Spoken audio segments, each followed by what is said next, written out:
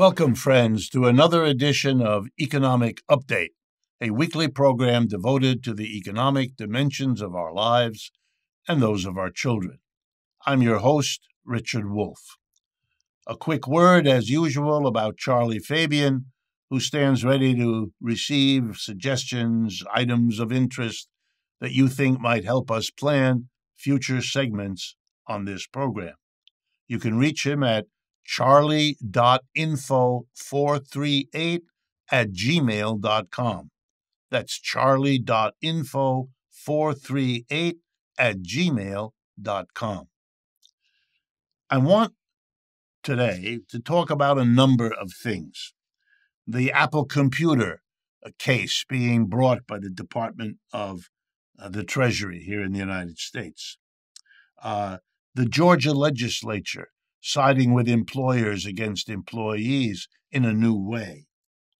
The fact that in two of our states, independent working class individuals have decided to run for high office and who they are and why they're doing it.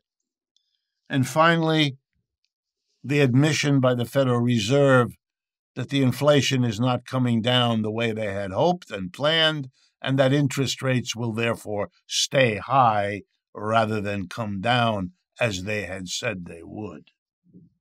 In the second half of the show, we will have an interview about the very important United Auto Workers election that is now going to take place in Chattanooga, Tennessee, at the VW factory there, which marks a major turning point, or could at least, uh, in the labor movement here in the United States and we'll have our guest, Mike Elk, a specialist in these topics, with us at that time. Okay, let's go. Apple Computer was charged by the U.S. Department of the Treasury with functioning like a monopoly, trying to make sure it's the only one selling a variety of services and therefore charging more than they otherwise could if they didn't block the competition of competitors. I want to talk about this, not so much about the particulars of this case, but more about the phenomena itself, so there's no misunderstanding. Virtually all capitalists dream of becoming monopolists, and the reason for that is very simple. If you're a capitalist among others, you're a competitor, you are limited in the price you can charge by the fact that your competitors, producing more or less the same thing you do, if they don't raise their price and you do, your customers will go to them and you'll lose those customers. And that operates as a kind of discipline. You don't raise your price. But if you can shut competitors out, if you have none, well, then you don't suffer that problem. You can raise your price your customers may not buy, but they got no alternative. So many of them you expect and you find will in fact grin and bear it, or not grin, grit their teeth and pay the higher price. In short, a monopolist can raise prices higher than competitors normally can and thereby realize a bigger profit. And since profit is what the business is there to achieve, monopoly becomes an objective simply out of the logic of a profit driven capitalism. Defenders of capitalism often try the following argument. If this happens, if Company A, Apple, or anybody else gets a monopoly, and raises profits by raising its prices, well, that will become an incentive for other capitalists to want to get in on this business because look how much money the monopolist is making. The problem with this argument is that the people who have been most interested in it are the monopolists, who understand exactly what threatens their monopoly is the arrival, the entry of others into that business. So they create barriers to entry. There's a whole literature in economics devoted to how and why and when monopolists erect barriers to entry. I'll give you a couple of examples. you do a heavy advertising for your project, for your product. You know, like, say, Coca Cola or Pepsi. Millions of people make soda pop, but we buy those because we're constantly barraged, and no new entry can come in really easily and compete because they would have to have an advertising budget that they can't afford. That's a way of doing that. Claiming that your, your product has some magic ingredient that nobody else has is another way of trying to do that. In other words, monopolists know how to last for a long time. Then there's another argument says, well, yeah, but the Department of Justice Antitrust Division will find them out and prosecute them. Well, you know, maybe it will, maybe it won't. But here's what we know and what we see monopolists tend to last a long time. A very small number of companies, technically called an oligopoly if it's more than one, are very common in the United States, and they have been in the past. And here we are with Apple doing it again. Monopolies rip us off. They get more out of us than a competitive economic system would allow. And they do it all the time, and they do it for years before eventually they are faced with a new entry or an antitrust action. Monopoly and its costs are a regular part of modern capitalism, and we are its victims. The Georgia legislature passed a bill signed by Governor Kemp that is remarkable. It says the state will no longer give subsidies to any company that agrees to recognize a union without having a union election. Now, let's be clear. Do governments like Georgia's give subsidies? You bet. The biggest subsidies recently given by Georgia one was to the Hyundai Corporation, a Korean auto manufacturer, over $1 billion of Georgia people's taxes. And the other one, the Rivian Electric Truck Company, also got over a billion dollars. So they're giving away the people's money, but they're not allowing what the national law calls for. The National Labor Relations Act of 1935, uh, sorry, of 1935 says that there are two ways you can get a union at a workplace. You can get 30% or more of the uh, workers there to sign a card. I want to have the right to join a union. And then you can go to the management and you can say, We've got these 30% of the workers or more. And you have to do one of two things either recognize the union because you see how many people want it, or you have an election and let the workers vote yes or no to have that union. That choice is up to the workers and the employer to make. In comes the governor of Georgia to show how much that government is on the side of employers. We will not let you recognize a union. You will not be allowed to. You'll suffer no subsidies from us if you do that. You have to force the workers to go through the procedure of a union. Now, I'm struck by this. I'm struck by no longer hiding that the government is on the side of the employers. It's not exactly hot news. On the other hand, it's usually hidden behind the pretense of being the government for everybody. Yeah, sure. But here it's right out in the open. We're telling employers that we won't accept the easier way for the union. We'll punish you if you go there. Wow. But it's also stupid. And here's why it's stupid. Many times the employer doesn't want to spend the money and the time and aggravate his own employees by the pressure to get them to vote against the union. It's easier, it's cheaper, it's quicker. Recognize the union. Plenty of companies have done that. This freedom of the employer to make that decision has been removed because you're going to punish that employer by denying them a subsidy. But it's stupid in another way. It's like it's a lesson. We may now see governors in other states that are union states pulling the same stunt in the other way. You will not get a subsidy, such other governors can say, unless you recognize the union without an election. It would be the perfect response to what they've done in Georgia.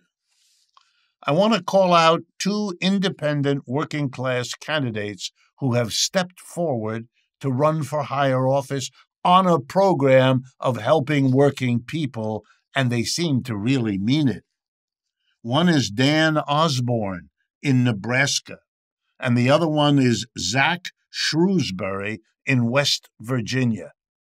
How interesting that those two states, Nebraska and West Virginia, would be the place where ex soldiers who have been advocates for unions and labor rights and the rights and needs of working people should now be running for high office.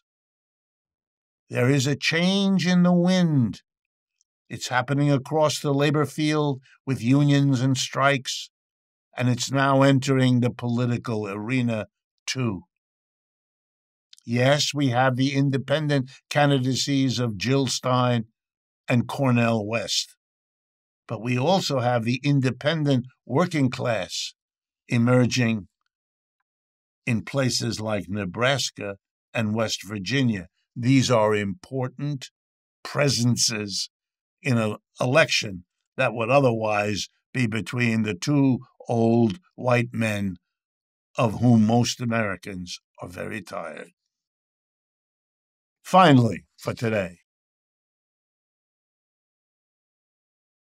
it's extraordinary that I have to say this, but I will.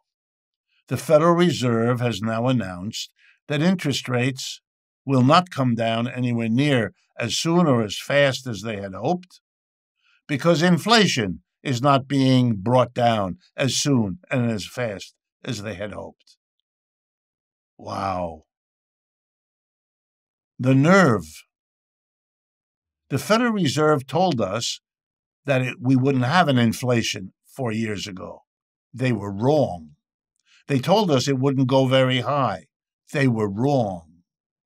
They told us that they would have to raise interest rates as the only procedure to slow the inflation. Turns out they were wrong about that. And not just wrong that the inflation didn't behave the way they told us to. By now, we're used to them being wrong about that. But I need to explain again that raising interest rates never was and is not now the only or the necessary way to try to cope with an inflation. And it's especially relevant now that you haven't coped real well, have you, Federal Reserve?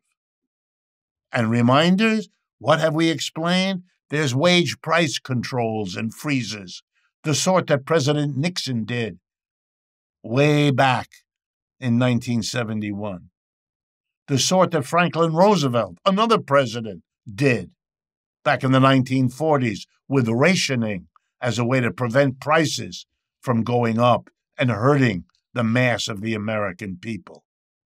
This is a government that never debated, never discussed, never presented to the people our own history as having done these other ways of dealing with inflation. And it's particularly poignant now that their way isn't working real well. And the problem that we shouldn't have had, they told us, and we have, and they haven't mastered is a screaming reminder of what they refuse to do.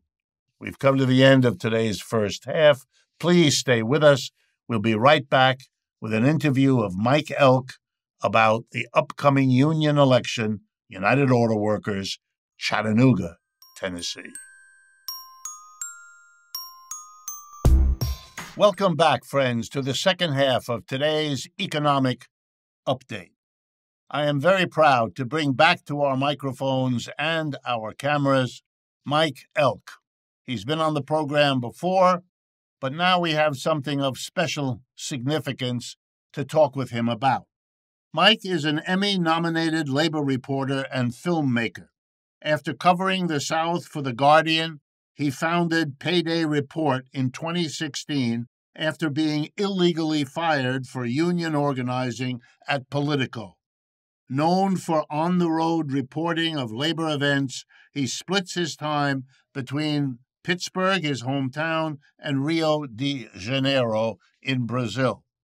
I want to mention that I get a lot, and many of our supporters do, by reading Payday Report. It's a way to keep abreast of strike and union activity across the United States that has really no no equal and is really well worth the effort.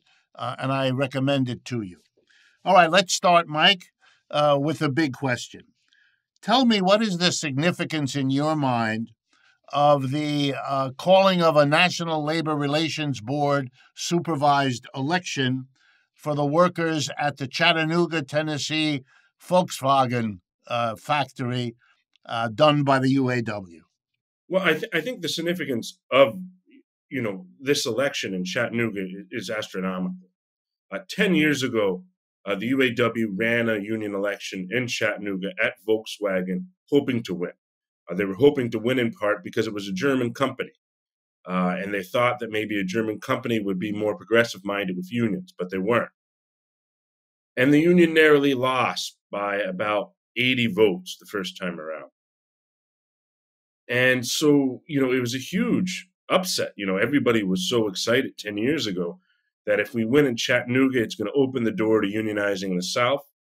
Uh, five years later, they tried again. They lost by about 40 votes this time uh, in Chattanooga. And, you know, it, Chattanooga unionizing at Volkswagen has been one of these bars that the labor movement for 10 years has been trying and trying and trying and trying and putting a lot of effort into reach. Now, from what I can tell, and I covered the last two on the ground, things are very, very different in Chattanooga. I just came out with an article called After the Pandemic and the Big Stand Up Strikes, Everything Changed uh, and everything has changed in Chattanooga. Um, you know, previously when they ran these campaigns um, at the factory there, there would be TV ads on the local TV saying, "Look, you know, do you want to bring in the UAW? It has all these corruption issues. Look at Detroit. Detroit's not looking so good." And this was after the big auto bailout. So, you know, if you're in a small town like Chattanooga, which is 100,000 people, and they're telling you your town might be bombed out like Detroit, I mean, I love Detroit. No offense to Detroit, but you know they played on the worst stereotypes of Detroit to try to scare people, uh, and it worked. And so now uh, that plant recently expanded, and Dave Dane over the American Prospect has a great article uh, because they just added an electric vehicle line, and it's very unlikely, given the tax incentives from the Biden administration and the current policy, that they're going to close that plant anytime soon. So the fear of that plant closing is no longer on the table, which motivated a lot of workers against it. On top of that, you know, the president of the UAW during the last union election went to jail. All the top leadership of the UAW went to jail. They were accepting bribes from Chrysler. They were doing all kind of really dirty stuff. So what happened is the federal government came in. They implemented a rule in the UAW which said that every member of the UAW has a right to vote for president. So you had the first open election in UAW history. Uh, since Walter Reuther founded the UAW, it's always been ruled by what's called the Administration Caucus. So you have uh, this guy get elected, Shawn Fain, as a reformer. And Fain leads the union through the stand up strike, the first time the UAW struck all big three employers at the same time. And the contract that they won has become so popular that just to try to keep up, Volkswagen had to raise wages by 11%. So now, well, do we want to be like the guys getting the big pay raises and, and you know, the union's clean and they're not going to close the factory? The conversation has shifted dramatically there. And the other thing that I think has really shifted the conversation is what happened to us as a nation during the pandemic, right? We saw a massive strike wave. Payday tracked over 3,000 strikes since the beginning of the pandemic. Um, and what happened is, I think workers have a new sense of themselves. They were called essential during the pandemic. And I think a lot of workers believe that, that they are essential. And they're not going to be treated the same way anymore. And so you're seeing that. And I think the other thing you're seeing is, is you're seeing a lot of young people at that plant uh, get involved in a major way. Um, you know, we've had Amazon, you've had the big Starbucks drive. Starbucks just announced that they would bargain with the over 400 stores of theirs that have unionized. So you have positive examples out there. And I think the other thing that's happening that's quite interesting is look, the last two times they tried to unionize at Chattanooga and Volkswagen, um, they, you know, tried it with, we're just going to focus on Chattanooga. Now the UAW has a national push. Uh, they're very close to a union election at Mercedes in Vance, Alabama. That's outside of Tuscaloosa, big college town. Uh, they are they've announced a public campaign at Hyundai in Montgomery, and they have a public campaign at a Toyota shop in Missouri. So now you have these the workers that are on the committee because look, I've been through Chattanooga union elections. They're rough. I mean, they're going to pound them on TV like they always do. But now the plant just expanded. The union's clean, and people have a different sense of themselves after the pandemic. So, in my view, this is looking like a very optimistic scenario. I, I could be wrong, but it is the most optimistic I've felt in the three union elections that I've covered there. Let me ask you a small question, but one that I know many of my viewers and listeners are concerned about. I reported recently about the Georgia legislature intervening directly in whether or not a company would go with a recognition of a union with or without an election. I mean, it's the most blatant, direct involvement of the state government on the side of the employer that I've seen, withholding subsidies unless you do what the politicals want you to do it violates the NLRB uh, law anyway. But are you worried or not? Or are the folks in Chattanooga worried that the authorities there will be some kind of significant player in shaping public opinion? Well, they're trying to. Uh, previously, you know, in 2014, the state actually threatened to take tax incentives away from Volkswagen unless they fought the union. As a European company, as a German company, they didn't run a traditional anti-union campaign. It was much more passive aggressive, uh, so to say. It wasn't the big, bold, you know, let's hold big captive audience meetings. So in 2014, uh, they did threaten to take away tax incentives to the state. The governor of Tennessee right now is is blasting the union, telling workers not to bring it in. And part of the reason the community is responding is, look, this is a town of 100,000 people, a little more than that, Chattanooga. This is a factory of about 4,000 people. If the biggest factory in the town goes union, that sets a precedent for everything else in the town. So what we're seeing, uh, what we're seeing right now at Mercedes, which is just a few hours down the road, is that um, the local employers are spending money to campaign against the union because Mercedes isn't doing an aggressive enough job. So you're seeing a lot of concern from the local employers that if we get one big union in at any of these plants, then the smaller factories in town are going to go union as well.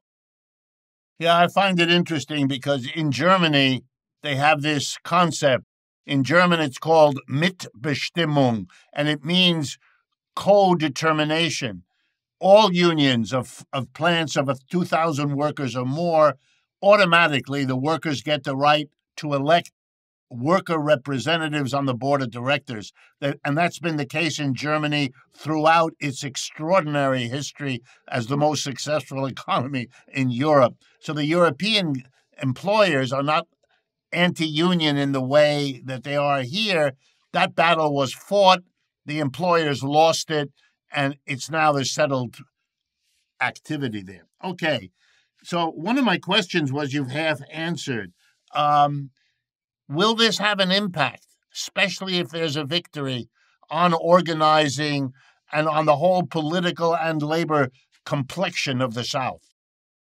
Well, look, the toughest part about organizing is believing you can win. And when you see someone win, that tells folks elsewhere that they can win. Look, UAW is very close to a union election. Mercedes in Alabama. A Hyundai is right down the road in Montgomery. They have a public campaign there and they have a public campaign at Toyota and they're trying elsewhere. I think they're trying at something like 15 different employers in the South. So if they win at one place, then the organizers in those other factories are going to think we can do it too, and it's going to motivate um, and it's going to push. And, you know, the UAW has never tried this kind of national strike strategy. And it's important to note that the UAW has decided to spend $40 million over the next two years organizing. So, you know, they just won that big strike that got a lot of positive publicity, and they're going for broke right now. I mean, they're, they're, they're going to go the whole way. Uh, they're, they're, they're putting all their cards on the table, and it's an ambitious, bold move, and, and let's see where it goes. What is the relevance, if any, of the uh, national election? And by that I mean, does the Trump phenomena or the Biden Trump race, or for that matter, Bernie Sanders as a political actor, or even Jill Stein and Cornel West, are, are any, is any of that affecting this race in one way or another? Well, President Biden has spoken out on behalf of Volkswagen workers in Chattanooga. Uh, that is, the city itself is Democratic, but Tennessee is very, very Republican. And part of the reason he's doing that isn't just so that workers in Tennessee see that he's speaking out on behalf of the union, it's so that workers in the Midwest see that he's talking on behalf of the union. Um, you know, Biden is dealing with very big unpopularity issues right now because of Gaza, uh, rightfully so. Uh, you know, it's been a disaster, uh, horrific humanitarian crisis, and we need to stop the shooting. And prior to that, he was kind of popular with union folks. I mean, Biden walked the picket line for the UAW during the stand up strike. He's spoken out on behalf of workers several times. And I think Biden sees that it's important for him to give a statement so that workers, just not in Tennessee, but in other parts of the country, see that he's standing up and fighting for them. What can anybody listening to you, watching, is there anything that they can do that you might think of to be supportive in the in all of this effort in the South? Well, they can certainly uh, donate to us at paydayreport.com so that we can keep covering it. And I think the most important thing they can do is talk to their friends and neighbors and, and talk about what's happening. Because look, union is a culture, right?